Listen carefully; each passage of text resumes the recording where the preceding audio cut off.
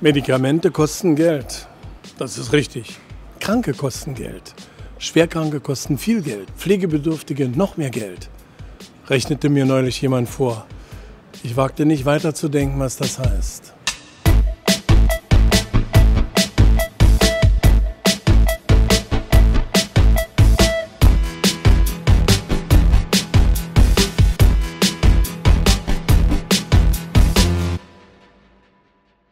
Da sehe, ich sehe das so, wenn die Leute keinen Lebensinhalt mehr haben, dann kann man denen auch ruhig in den Tod verhelfen. Aber Da hätte ich nur so eine Frage. Was, Ja. Wer bestimmt den Lebensinhalt? Die ähm, selber. Also ja, wenn sie noch fähig dazu sind. Natürlich, wenn, wenn sie noch fähig dazu sind, sie selber. Und ansonsten ähm, liegt es immer natürlich auch in, im Auge des Betrachters. Nur ich glaube, wir sind uns einig, wenn man nur noch im Bett liegt und vor sich hin vegetiert, nicht mehr eigenständig atmen, essen, trinken Mhm. Das kann, ist- das ist dass eine- man dann keinen Lebensinhalt mehr hat. Und ähm, dann ist es in meinen Augen auch nicht sinnvoll, dieses Leben dann noch irgendwie künstlich beizuhalten oder so.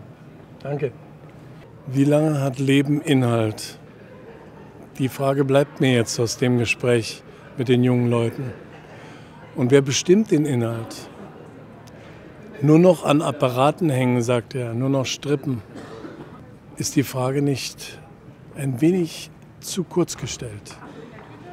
Natürlich, ein Leben, das in den Tod hineinwächst, ein Leben, das sich dem Ende neigt, Stecker rausziehen?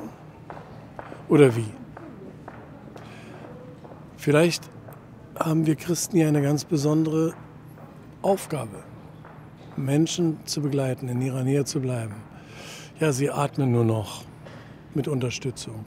Aber schaffen wir es, mit ihnen so umzugehen, dass wir auf der einen Seite nicht künstlich verlängern, was nicht zu verlängern ist, aber auf der anderen Seite der Natur es überlassen, wann das Ende gesetzt ist. Wir merken, dass diese Fragen zentral und brennend diskutiert werden. Aber eines ist sicher richtig. Mit welcher Haltung begegnen wir dem Schwerstkranken, dem Sterbenden und welche Hilfe braucht er?